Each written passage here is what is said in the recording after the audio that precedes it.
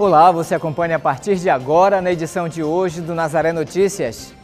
Muitas crianças e adolescentes esperam por adoção no Pará. As ações no Dia Internacional da Conscientização sobre o Ruído. As últimas homenagens ao cônego Djalma Lopes. O projeto busca informar as crianças sobre o direito da pessoa idosa. Mercado do food trucks aumentam em Belém. Na entrevista de hoje vamos falar sobre a cachumba. Hoje é quinta-feira, 27 de abril e o Nazaré Notícias já está no ar.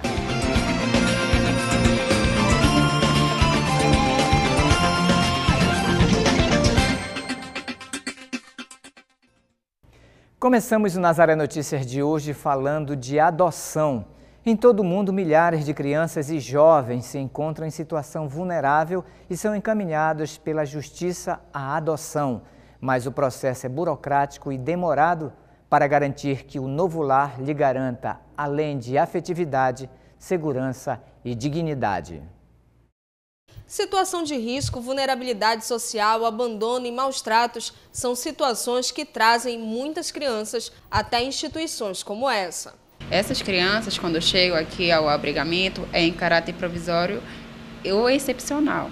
Elas vêm sempre por medida de proteção, abandono, risco pessoal ou social, vem através do Poder Judiciário ou por requisição do Conselho Tutelar. Entretanto, esse último ele tem que em 24 horas comunicar o Poder Judiciário, o juiz da Vara da Infância e Juventude, do acolhimento dessa criança. Essa é uma instituição de acolhimento. O trabalho é feito em parcerias com instituições e o apoio de profissionais como assistentes sociais e psicólogos. As crianças chegam muito emocionalmente mexidas, né? Às vezes nem entendem por que vieram para cá, mas assim, há todo um processo de atendimento com elas, né, de conversa mesmo. Nós procuramos não revitimizá-las, né, porque é um sofrimento muito grande para elas, de repente, é, vir para um abrigo. Mas, ao mesmo tempo, Muitas entendem que foi até melhor elas virem para o abrigo né, do que ficarem onde elas estavam. Muitas estavam em ruas, muitas estavam sofrendo por causa de abandono mesmo, risco social muito grande. Nem todas as crianças que vêm para instituições de abrigo estão aptas à adoção. Esse não é um processo simples, é um processo psicológico, social e judicial. Crianças e adolescentes que estão institucionalizadas, elas o estão por vários motivos. Ou por abandono, ou porque há uma divergência entre o poder familiar e a, os próprios direitos da criança que é preciso se averiguar.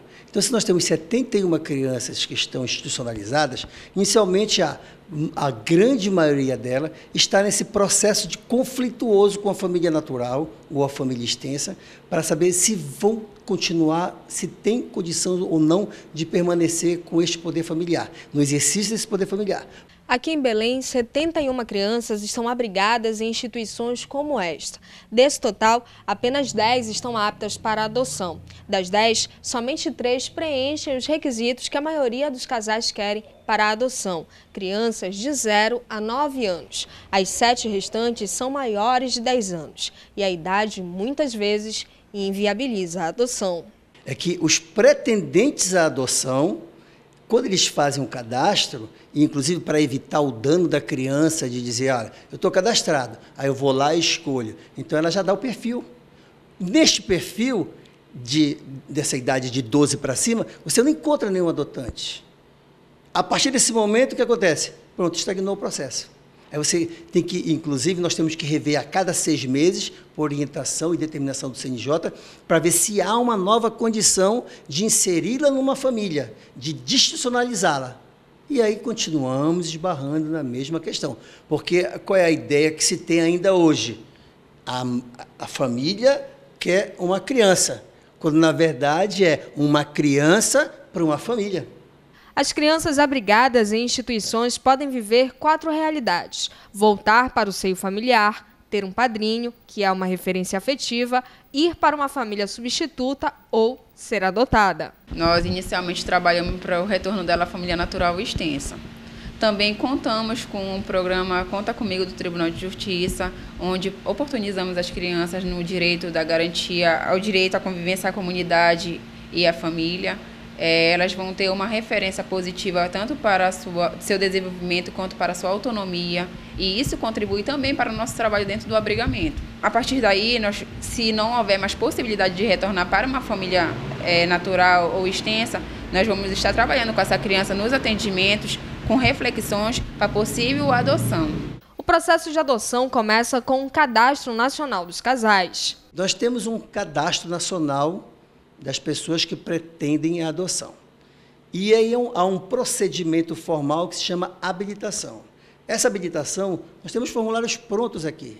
As pessoas vêm, preenchem o formulário, esse formulário, depois de preenchido, a equipe técnica se dirige até o endereço, ao local, à residência desse casal ou desta pessoa, para verificar qual é a condição efetiva, se ele tem ou não condição de adotar.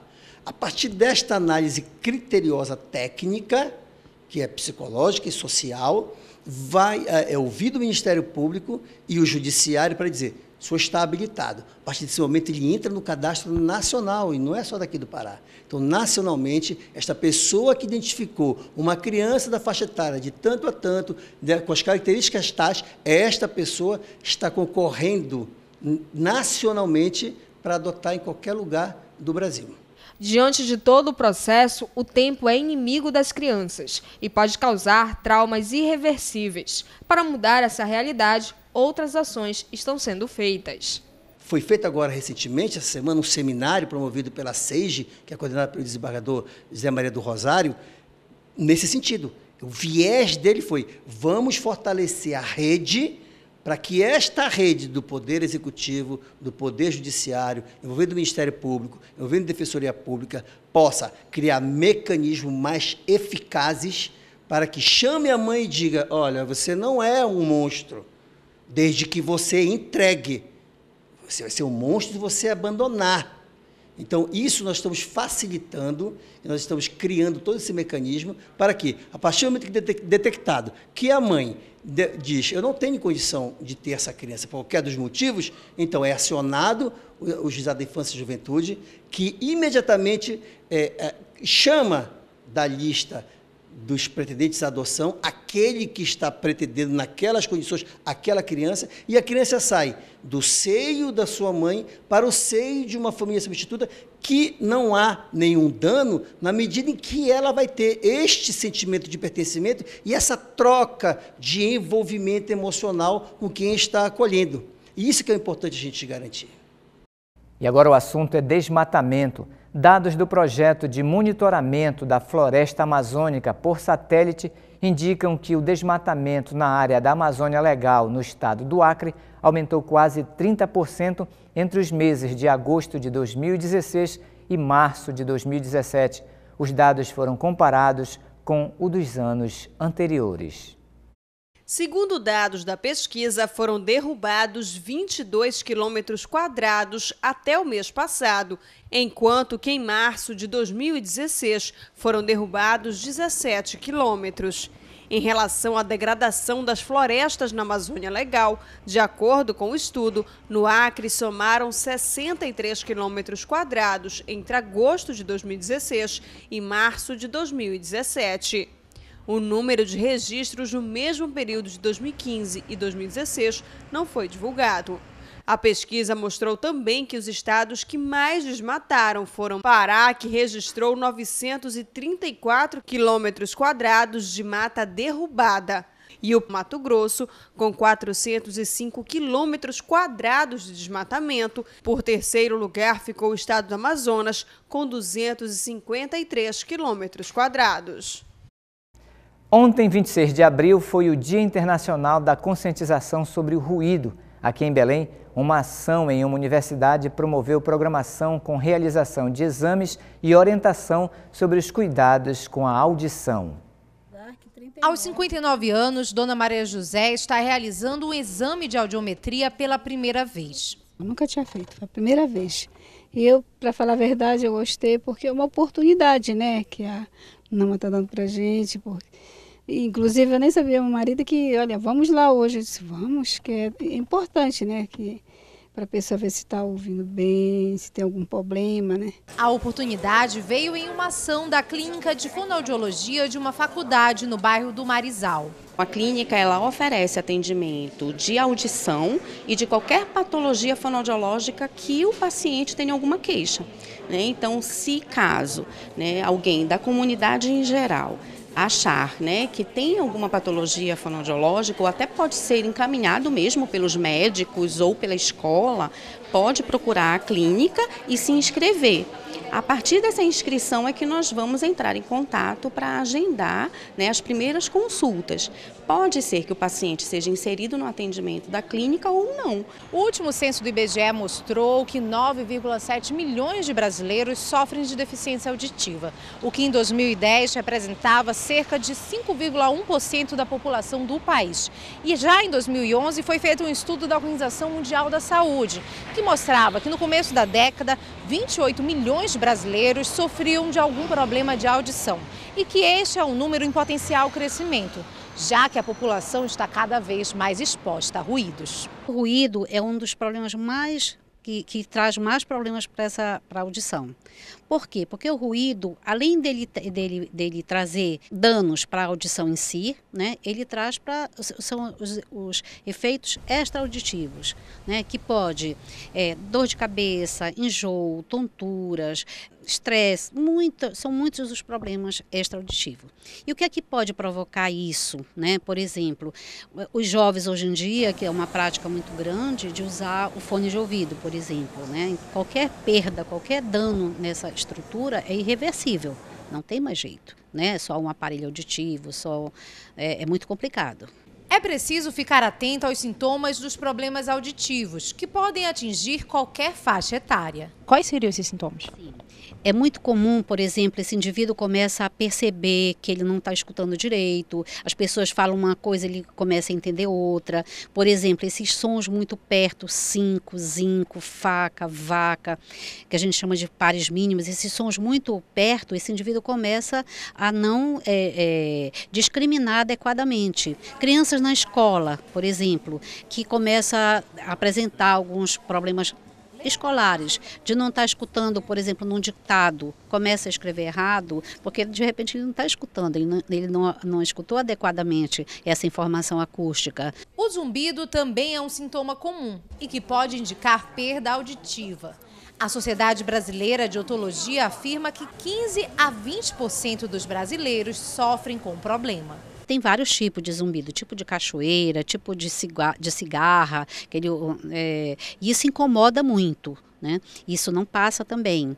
Esse indivíduo pode começar a sentir dores de cabeça, né? tonturas. É importante prevenir problemas auditivos consultando um otorrinolaringologista ou um fonoaudiólogo. A Clínica de Fonoaudiologia da Universidade atende pacientes de todas as idades. A maioria mesmo das queixas fonoaudiológicas são crianças que têm problemas de fala, não é? professores que têm problema de voz. Então, esses atendimentos são abertos à comunidade e qualquer pessoa tem acesso. Basta vir aqui na clínica, né, que fica dentro da universidade, no primeiro andar, e fazer a inscrição e aguardar que nós entramos em contato para a avaliação. O exame da dona Maria José apresentou resultado de 25 decibéis que é considerado normal, mas no limite para a perda auditiva leve. Ela conta que às vezes sente dificuldades na audição, mas agora já sabe a importância da prevenção. Muito importante a pessoa procurar um meio de se, se cuidar, né? Que é muito bom. Não houve acordo entre funcionários e a patronal na região entre representantes do Sindicato dos Rodoviários do Pará e o Sindicato das Empresas de Transportes de Belém. Caroline Guimarães tem mais informações. A categoria pede um reajuste salarial de 10%, também aumento no vale alimentação de 510 para 700 reais e também um reajuste na clínica dos rodoviários que presta atendimento de saúde. Uma nova rodada de negociação aconteceu na manhã desta quinta-feira e às 18 horas a Assembleia vai se reunir para saber se os rodoviários entrarão ou não em greve a partir da meia-noite desta sexta-feira. Caroline Guimarães para o Nazaré Notícias. E agora vamos falar sobre saúde. Um assunto recorrente nos últimos dias é sobre a cachumba, ou mais conhecida como papeira. A doença tem feito vítimas aqui em Belém. Para falar sobre ela, Larissa Cristina conversa com a médica infectologista Rita Medeiros. Não é isso, Larissa? É isso mesmo, Marcos. Tem sido registrados aqui em Belém muitos casos relacionados à cachumba. Por isso que a gente escolheu esse tema para tratar na nossa entrevista de hoje. A nossa convidada é a Rita Medeiros, ela é infectologista. Se você quiser participar da nossa entrevista ou sugerir algum tema, mande para o nosso WhatsApp, o número é o 988023444. A gente aguarda a sua participação. Doutora, deixa a gente entender, quando a gente fala de cachumba, é a famosa doença papeira é o termo popular da doença? É isso mesmo, é o que as pessoas uh, falam como papeira, que é o inchaço aqui, né, próximo ao ouvido. E o que, que é? Como é que se caracteriza essa doença? É só esse inchaço? É, na, nas formas mais comuns, mais brandas, é, o vírus ele tem tropismo por, por umas glândulas que estão próximas ao ouvido e isso incha bastante. Pode ser só de um lado, algumas pessoas têm inchaço dos dois lados. Normalmente é autolimitado e para por aí.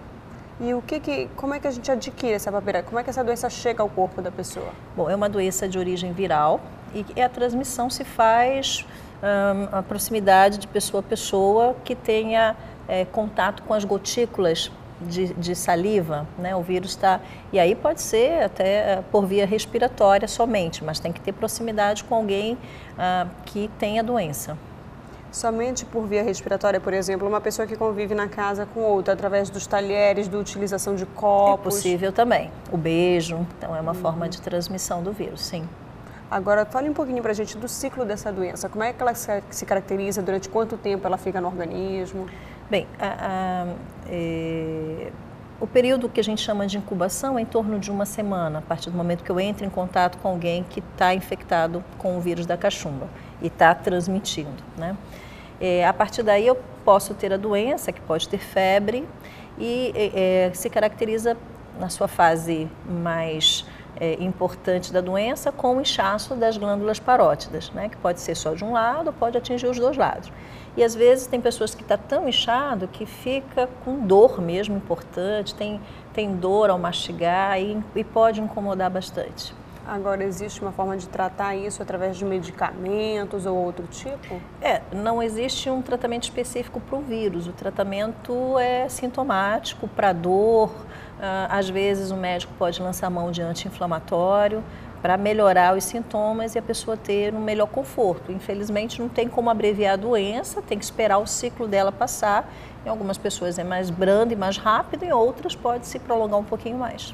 Nessa questão da contaminação, doutora, durante, digamos, os sete dias que eu vou ter a doença, eu posso transmitir ou existe aí um período crítico em que as outras pessoas podem pegar essa doença? É, a, a, o, o problema é que a pessoa já começa a transmitir mesmo antes de ter a doença. Então, dois, três dias antes, não está sentindo nada, não está doente, mas já está transmitindo o vírus. Por isso que num grupo de jovens é muito fácil, a transmissão é muito rápida. É por isso que a gente tem tido surtos em escolas, em faculdades, com vários jovens suscetíveis, ah, porque a pessoa, ela quando está doente, em geral fica em casa, não vai mais transmitir para aquele grupo. Mas como ela já estava transmitido antes, então por isso que a gente acaba tendo vários casos relacionados a esse primeiro, né? E como a gente pode se prevenir da cachumba? Bom, é evitar o contato com a pessoa doente, né? E uh, existe a possibilidade do reforço vacinal. A vacina da cachumba, infelizmente, ela é, ela é dada, é a mesma vacina para sarampo, rubéola e cachumba. E dos três, o, a, o componente cachumba é o menos eficaz. Então, ele, não pode, ele pode não dar uma eficácia 100% na pessoa vacinada. Por isso que existem pessoas vacinadas direitinho, mas que acabam tendo é, cachumba. É claro que a vacinação, ela previne. Então, a maioria das pessoas vacinadas não terão cachumba, mas existe um contingente de pessoas que, a eficácia já não foi tão boa, então elas vão, elas poderão adoecer. É, e existe um movimento é, internacional e no Brasil também de fazer um reforço. A gente toma vacina na primeira infância, né, junto com sarampo e, e, e rubéola.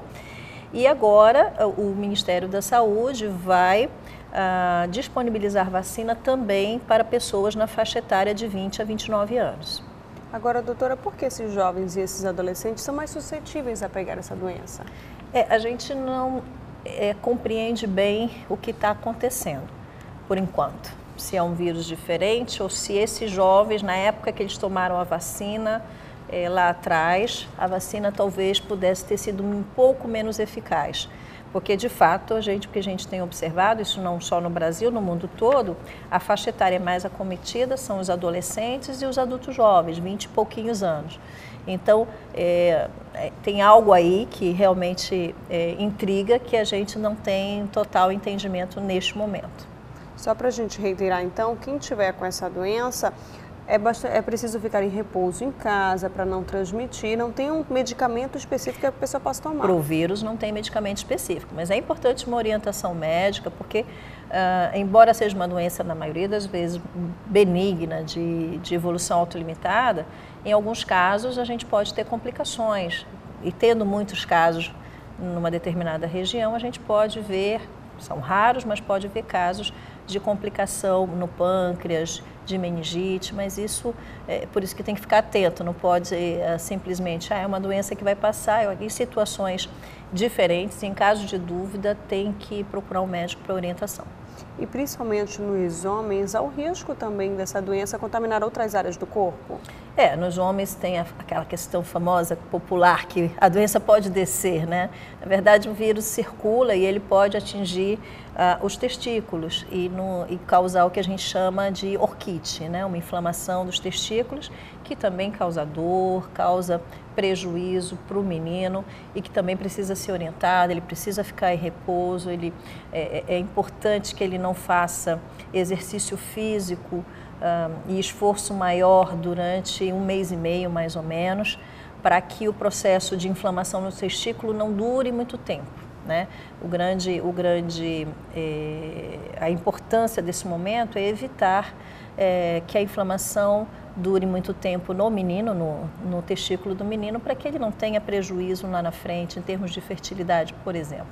Com certeza. A gente agradece as orientações, doutora, e deixamos também o nosso contato. O nosso WhatsApp é o 988023444. Se você ficou com alguma dúvida ou quiser enviar alguma pergunta para a gente, sugerir algum tema para a nossa entrevista, basta mandar direto para o nosso WhatsApp. A gente agradece a sua presença Obrigada aqui com a gente. Marcos, eu volto com você.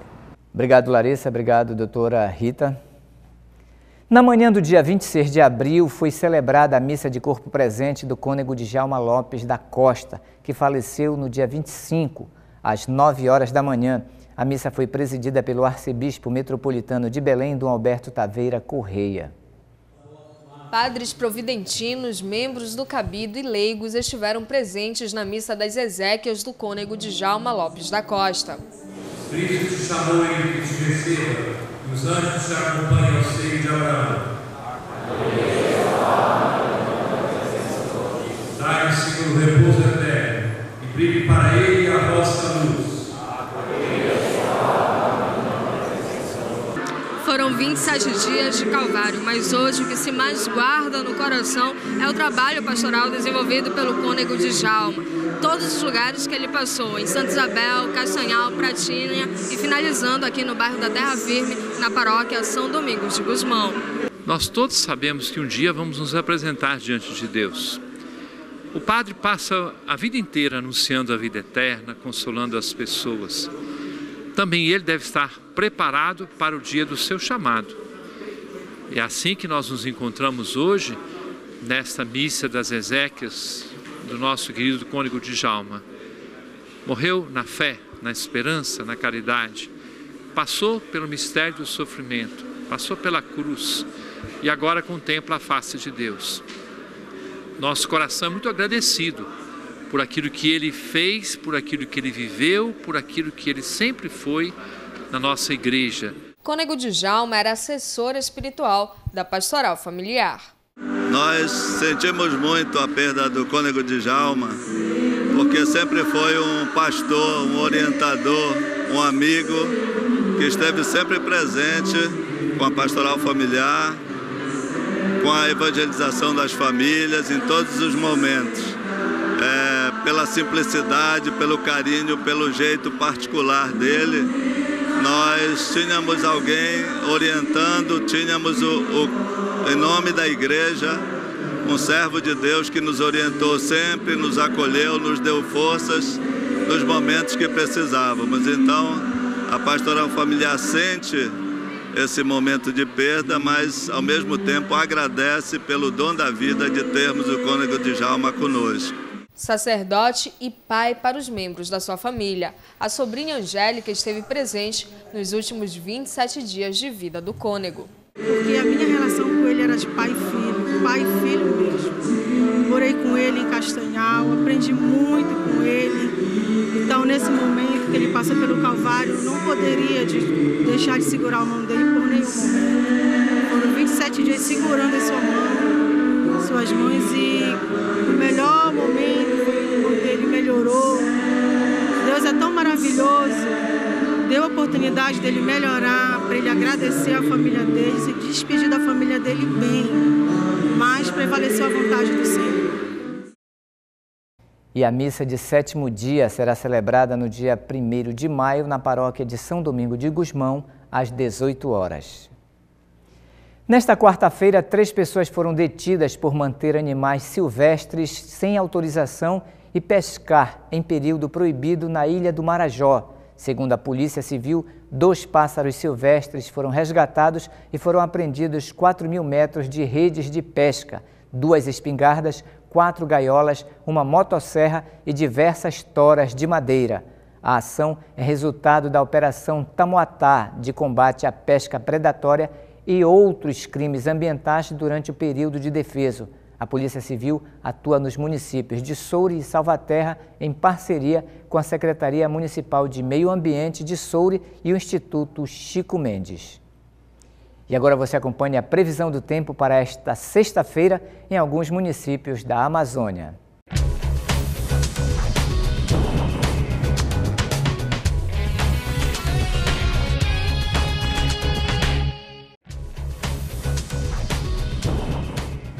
Nesta sexta-feira, a previsão é de tempo encoberto para o município de Marituba, região metropolitana de Belém, com possibilidade de pancadas de chuva durante a tarde e parte da noite.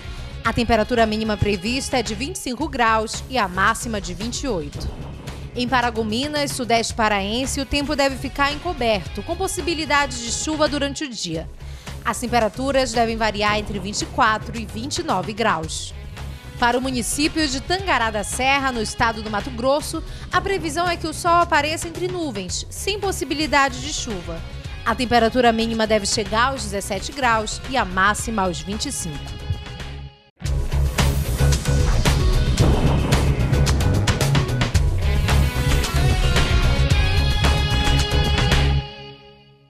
E você pode participar da produção aqui do Nazaré Notícias. Você pode enviar sugestões de temas para as nossas reportagens ou entrevistas. Nosso WhatsApp é o 988023444 e aí você informa o seu nome e a sua cidade.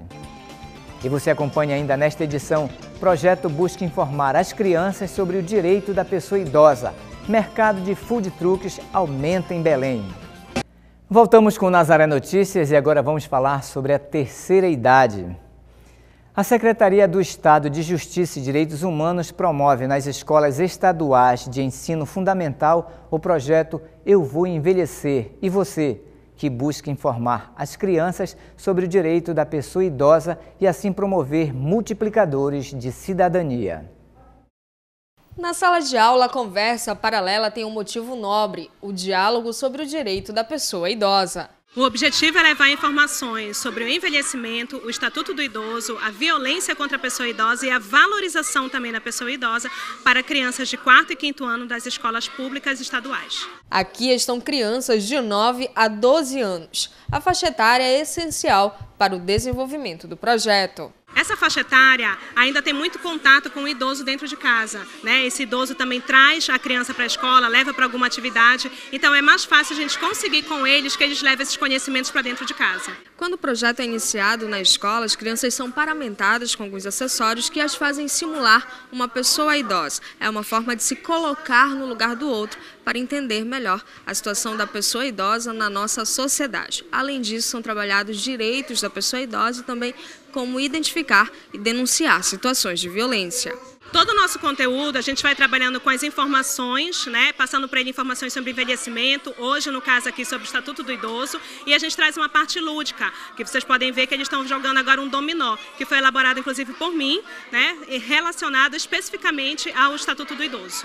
Nessa aula, o Estatuto do Idoso virou um dominó diferente, e Alice já aprendeu muito com ele. Eu aprendi que os idosos têm muita dificuldade de emprego porque muitas empresas querem contratar as pessoas mais novas e negam o emprego aos mais velhos. Só que isso é crime, foi aprendido aqui. E para denunciar o trabalho infantil que, e também maus tratos aos idosos é para discar 100. Para quem educa, essa é uma forma de desenvolver cidadania. Até para a questão do respeito, né? Mútuo da cidadania, para eles aprenderem como se comportar diante da sociedade e juntamente com o idoso, né? E a escola que quiser participar do projeto com os alunos pode entrar em contato com a Gerência de Proteção ao Idoso da Secretaria de Justiça e Direitos Humanos no telefone 4009 2729. Os casos de malária no Acre reduziram 7,4% nos três primeiros meses de 2017, em comparação com o mesmo período de 2016. E em 2016 foram registrados 8.216 casos e este ano tiveram 7.605. A Secretaria de Saúde apontou que mais de 90% dos casos estão registrados nos municípios de Cruzeiro do Sul, Rodrigues Alves e Mâncio na região do Vale do Juruá, interior do Acre. No total, foram contabilizados até março deste ano 7.515 casos da doença nos três municípios. Cerca de 60 mil veículos com placas de finais 03, 13, 23 e 33 registrados junto ao Detran do Pará deverão ter o licenciamento anual pago até esta sexta-feira para garantir a quitação sem multa. O Detran alerta que o condutor que for flagrado com licenciamento em atraso terá que pagar uma multa no valor de R$ 293,47, receberá sete pontos na carteira nacional de habilitação e também terá o veículo removido ao parque de retenção. A medida está prevista no Código de Trânsito Brasileiro. Quem quiser receber o boleto pode emiti-lo através do site do Detran, que é www.detran.pa.gov.br. No site também é possível fazer uma verificação prévia sobre o valor a ser pago. Caroline Guimarães para o Nazaré Notícias. Um mercado que ganhou força em Belém nos últimos dois anos foi o de food trucks, os carros de comida itinerantes. A mobilidade e o baixo investimento levaram muitos paraenses a empreenderem no segmento. 82% de um salário mínimo. É o que gasta o brasileiro para comer fora de casa, de acordo com a pesquisa do Instituto Datafolha, em parceria com a ACERT, a Associação das Empresas de Refeição e Alimentação Convênio para o Trabalhador. E com uma rotina apertada, comer na rua está se tornando cada vez mais comum. Cada vez mais as pessoas têm menos tempo de ir em casa se alimentar. Então a alimentação fora do lar, ela é um boom do, do tempo moderno que a gente vive. As pessoas cada vez têm menos tempo e mais coisas para fazer. Então buscam, costumam buscar se alimentar perto do seu local de trabalho, do seu local de estudo, às vezes no, no meio de um, do seu trajeto entre um local e outro, parar para fazer uma alimentação rápida. Isso fez com que as pessoas começassem, os empresários, os empreendedores começassem a se adaptar a esse novo conceito. Dentro desse contexto, um segmento que cresce é o de food trucks, os carros de comida. Itinerantes, eles atingem públicos diversos e podem ser um bom investimento. É muito mais barato você ter um food truck do que você ter um ponto físico, aquele espaço, um número de funcionários maior para poder estar tá dentro atendendo as pessoas e a capacidade de você estar tá se locomovendo e atendendo vários bairros, vários públicos diferentes, vários nichos. Então são muitas oportunidades para esse mercado, inclusive eventos, participação de eventos. Este casal percebeu a oportunidade e resolveu investir em uma lanchonete móvel de tapiocas com recheios temáticos e tradicionais. É, cerca de mais ou menos um ano atrás, eu trabalhava numa empresa de transporte, eu saí da empresa e aí, diante né, desse, dessa minha saída, nós sentamos, eu e minha esposa, né, e resolvemos implementar um projeto que era dela, né. E como já havia tempo para isso, eu resolvi realmente é, é, abraçar a causa, né. E a partir daí nós fomos desenvolvendo a ideia da fabricação, procurar custo, fábrica, né. Depois fomos para a questão dos equipamentos e por último a questão do material que nós iríamos trabalhar e qual público nós iríamos atingir. Esse era o nosso objetivo, né? Então tudo isso foi muito estudado.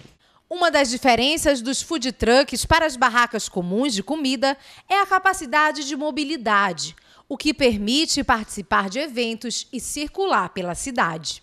As vantagens é que se eu estou num lugar e não está dando, eu vou para outro lugar. Aí começa, né, de novo, aí a gente vai, trabalha, trabalha, aí para estar tá também em circuito, outras pessoas que moram, moram em, em, em, residenciais que às vezes não podem sair, nós vamos até eles. Aí é isso que eu acho uma grande vantagem, conhecendo pessoas, conhecendo pessoas também. Desde que o food truck começou a funcionar, o casal teve que fazer adaptações, como horários de funcionamento sempre estudando o que é melhor para o negócio. A partir do momento que nós colocamos em prática aquilo que nós elaboramos através do projeto, nós, com muito planejamento, nós desenvolvemos é, tudo aquilo que nós é, atribuímos como as etapas, né, da fabricação até o nosso produto final, chegar ao nosso cliente, tudo foi muito bem estudado. Não é só o planejamento que é necessário. Para se dar bem no mercado, é preciso se destacar. Você precisa primeiro ter um bom produto, né? Porque não adianta abrir um food truck e não saber o que, que vai oferecer. As pessoas não vão querer, né? Se não for coisa boa. Precisa ter um preço justo, porque senão também as pessoas podem até comprar, mas se o preço não acharem justo, não vão continuar comprando. E você precisa é, gostar do que faz, porque é lucrativo, é lucrativo, mas dá trabalho. O Sebrae apoia o mercado e o microempreendedor. Uma das formas é com a promoção de eventos em Belém e no interior do estado. E a gente participa de vários outros eventos. Esse próximo final de semana vai ter no município de Capanema, porque a ideia nossa é levar não só os eventos, como também a regulamentação da atividade. A Kátia já sabe o segredo para o sucesso do empreendimento: agradar o cliente. Do jeito que o cliente desejar, que tem. Me pergunta, tem assim? Aí na hora eu já invento e já faço. A pessoa sai satisfeita, graças a Deus. Encerram amanhã as inscrições para o processo seletivo da Universidade Estadual do Amapá. Foram destinadas 525 vagas para 11 cursos de graduação em 2017.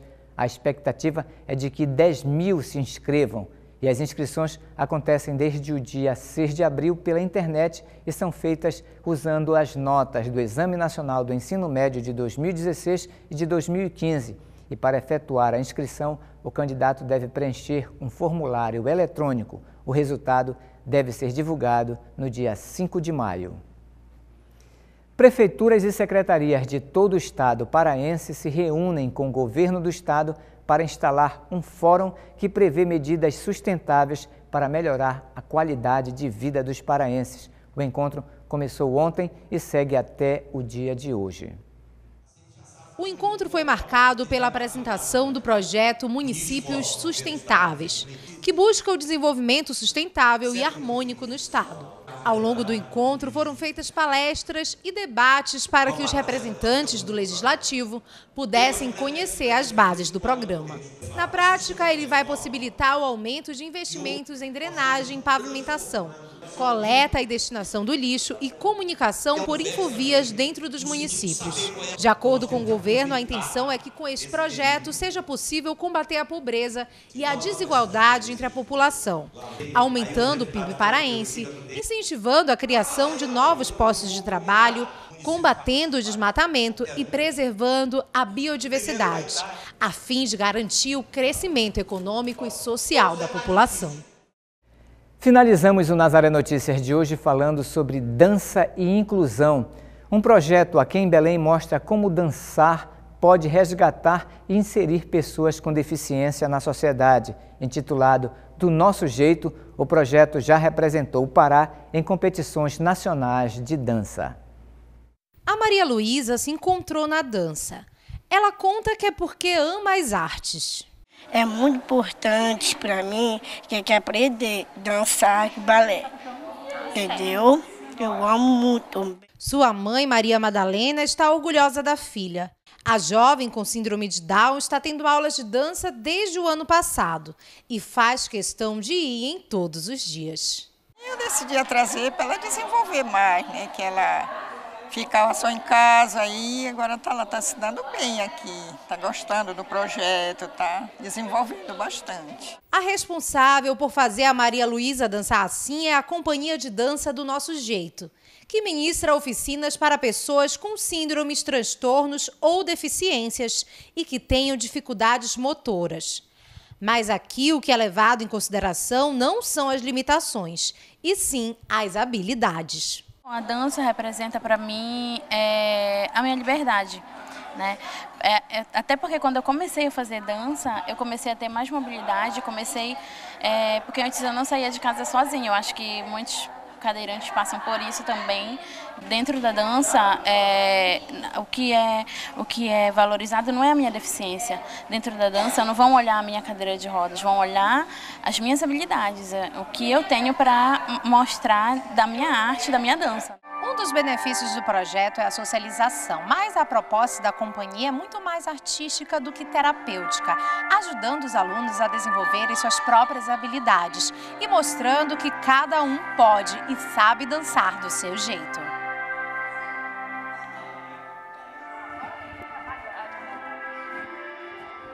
A gente consegue desenvolver algumas habilidades que, que por eles estarem em casa ou ociosos ou sem nada para fazer, acabam não, é, não tendo essa mobilidade. Aí aqui eles descobrem que eles podem fazer mais coisas além do que eles já faziam, né? Eles conseguem ir além das, das, das expectativas deles, na maioria das vezes.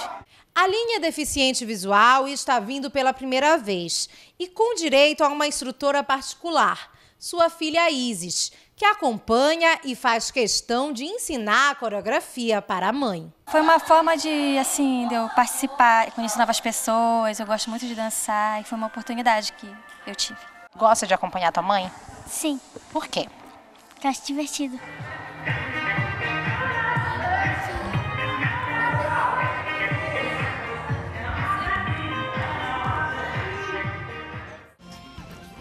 E essas foram as notícias de hoje. Para dar sugestões de entrevistas ou reportagens, você pode enviar para o nosso WhatsApp. O número é o 988023444. Mas se você quiser rever nossas reportagens, você acessa o portal Nazaré, www.fundacionazaré.com.br ou acesse a nossa página no Facebook. Nazaré Notícias fica por aqui, nos encontraremos amanhã na próxima edição. Até lá!